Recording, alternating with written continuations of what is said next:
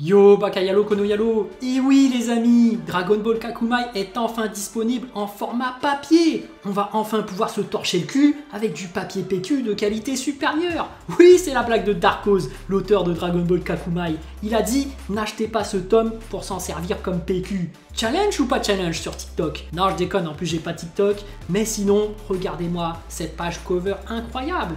Il y a même un effet relief et tout et en exclusivité, 7 pages couleurs et 5 covers alternatives en bonus. Vous pouvez commander ce tome 1 dès à présent. Donc, pour commander votre tome 1 et pour pouvoir sentir le bon papier dans vos mains, pas le PQ, hein, contactez le compte Decatom sur Instagram. Je répète, Decatom sur Amstramgram, piqué piqué collégramme. Enfin bref, Dragon Ball Kakumai chapitre 6 et c'est parti! Et Vegeta qui menace les amiraux, ramenez-vous! La tension est énorme, tout le peuple de Sadala est sous pression. Et l'amiral Ruba qui tente d'écraser Vegeta, mais Vegeta esquive. Il est derrière Ruba qui ne sait même pas où se trouve Vegeta, Vegeta qui lui met un coup de poing et Ruba qui s'écrase sur les autres Saiyans. L'Eriak qui tente d'attaquer Vegeta par derrière, il lui lance une boule d'énergie, mais Vegeta ne bouge pas d'un pouce il l'attrape par les cheveux et lui met un coup de genou dans le bide. Et Fenel, qui a matérialisé une lame de ki, tente de frapper Vegeta qui se baisse. Il lui donne un coup de pied retourné en plein dans le bide qui éclate son armure.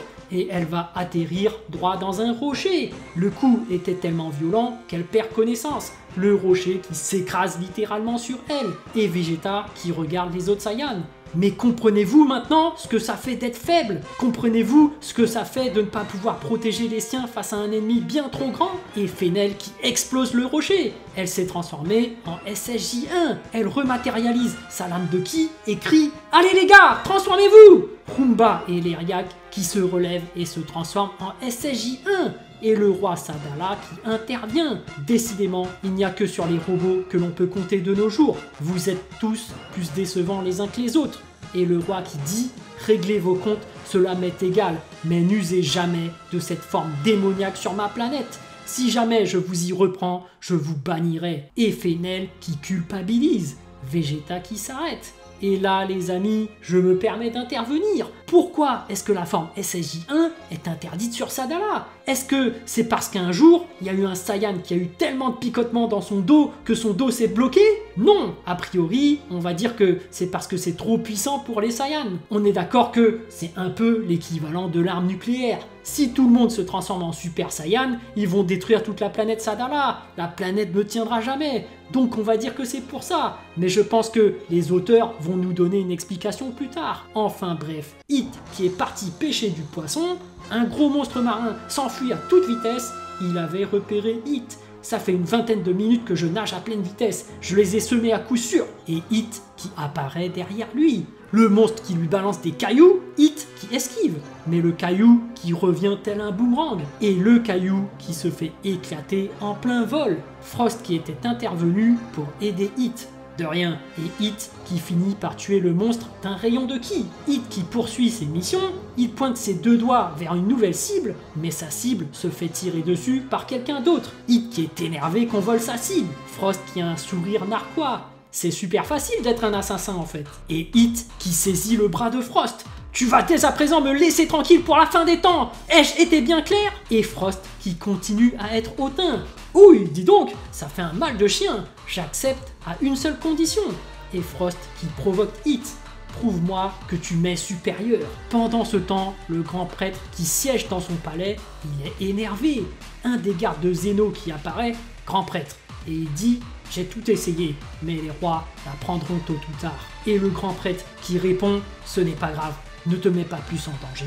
Et le garde qui acquiesce Bien. Pendant ce temps, sur la planète qui ressemble au cirque Pender, tout le monde regarde le clown Akaishin, Vermoud qui est totalement momifié, et Jiren qui dit Margarita n'a pas le droit de le ramener à la vie, ni à lui discréditer ses années accumulées d'un coup. Néanmoins, il reste un espoir que Vermouth soit encore des nôtres, et dans ce cas, elle le maintient actuellement en vie. Et Gohan qui lui dit Je vois. Cela dit, maintenant que je suis là, vous savez à quel point je partage votre sens de la justice et j'aimerais beaucoup rejoindre les Pride Troopers. Et Topo qui lui répond Écoute Gohan, Nous sommes un peu sur les nerfs car nous avons dû précipiter le rituel de passation d'immortalité divine. Mais nous ne t'en voulons pas personnellement. Et Jiren qui poursuit. Quoi qu'il en soit, nous ne pouvons pas t'intégrer au Pride Trooper simplement sur ta demande.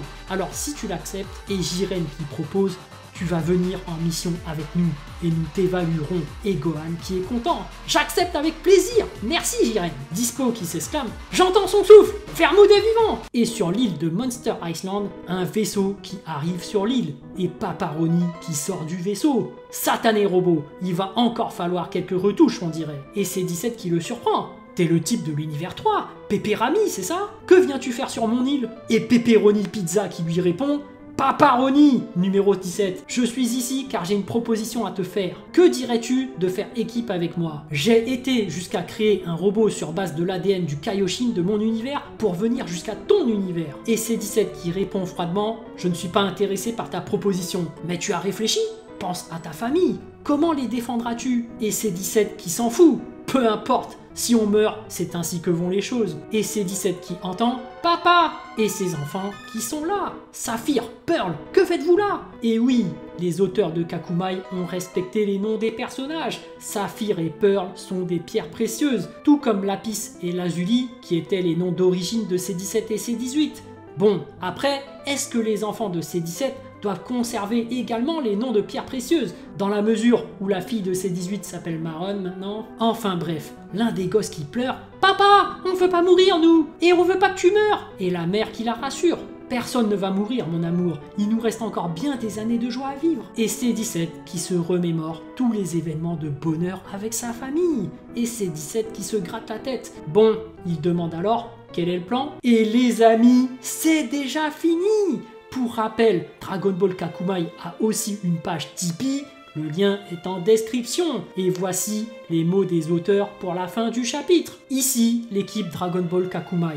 Bonne nouvelle, nous sommes de retour. Merci à vous, chers lecteurs. Merci de nous suivre encore et toujours, bien que nous ayons saisi la liberté de prendre une pause pour marquer la fin du tome 1. Et comme une bonne nouvelle ne vient jamais seule, nous vous réservons une surprise. En effet, le premier tome relié de Dragon Ball Kakumai sera bientôt disponible en précommande. Et pour ne rien rater, restez branchés sur ce Instagram, poissonlabo, où figureront toutes les réactions en direct ou rediffusion pour les retardataires. Face à nos propres exemplaires de ces 10 tomes, on a vraiment hâte et nous aimons à penser que vous aussi. Quoi qu'il en soit, on espère que cette nouvelle vous fait plaisir. Elle marque en tout cas le début d'une vaste aventure. Rendez-vous le 25 mars 2022 pour le chapitre 7. L'équipe Dragon Ball Kakumai. Tarkos, créateur du projet, scénariste, porte-parole, Poisson Labo, dessinateur, storyboarder, graphiste, et Rinko, scénariste, superviseur et lettreur version anglaise. Bon, qu'est-ce que j'ai pensé du chapitre? Eh ben, il était génial comme d'habitude Déjà, le combat de Vegeta contre les amiraux, c'était énorme. Respect des niveaux de puissance, Vegeta qui a one-shot chacun d'entre eux, et ce qui est logique. Et je dirais même, avait-il vraiment besoin de se transformer en SSJ Blue? Parce qu'en vrai, le SSJ2 aurait suffi. Oui, parce que Gohan SSJ2, il maîtrisait parfaitement Perfect Cell, et je pense pas que eux soient du niveau de Perfect Cell. Ensuite, Gohan qui rejoint les Pride Troopers, C17 qui rejoint Pepperoni Pizza, oui, c'est finement joué. Gohan qui a toujours été un super héros, guerrier intergalactique, tout ça, il y a un lien direct avec les Pride Troopers. Pareil pour C17, Cyborg et Cyborg, tout est lié et on a hâte de voir ce que ça va donner. Après, ce qui est vraiment exceptionnel, et je le souligne à chaque chapitre, c'est la qualité de dessin de Poisson Labo. Mais ce gars-là, c'est vraiment une pépite du dessin.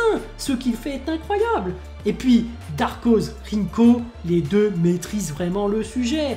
Ils développent le lore de Dragon Ball, ils développent les personnages, ils sont minutieux, aucun détail ne les échappe, même les noms des personnages ne sont pas choisis au hasard. Ils forment vraiment une très belle équipe, d'où la qualité supérieure des chapitres qui sortent chaque mois. Donc, s'il y a bien un mot à dire pour ce chapitre, eh ben c'est merci. Merci encore pour tout ce que vous faites pour les fans. Dragon Ball continue à vivre même au-delà de Dragon Ball Super, et pourvu que ça dure, tout simplement. Voilà, j'espère que cette vidéo vous a plu. En tout cas, moi, j'ai vraiment envie de savoir ce que vous avez ressenti et j'ai hâte de lire votre message en commentaire. Évidemment, un petit pouce bleu fait toujours plaisir pour un petit artisan comme moi. Et bien sûr, si vous voulez suivre toute l'actu de ma chaîne, abonnez-vous. Sur ce, je vous dis à plus